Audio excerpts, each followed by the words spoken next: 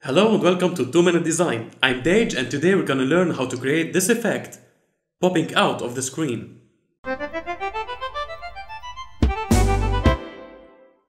This is what you need to have. A background picture, including the screen, and an idiot. In this case, it's just me. Let's start by adjusting my position. Decrease the opacity of this layer.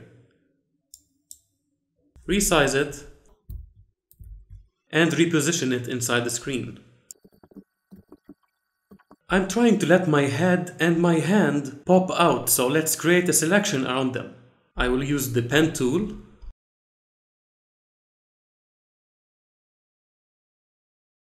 Hit Ctrl or Command Enter to create the selection. Make sure this layer is selected and click Add Layer Mask. Now that the mask is selected, create a selection inside the screen and fill it with white. Gonna fix this area right here. And now increase the opacity back to 100%. You can also add a shadow here under my hand just to make it more realistic. Add a new layer between the two, select the brush and create a gray shadow. Set it to multiply and decrease the opacity to around 50%. Awesome!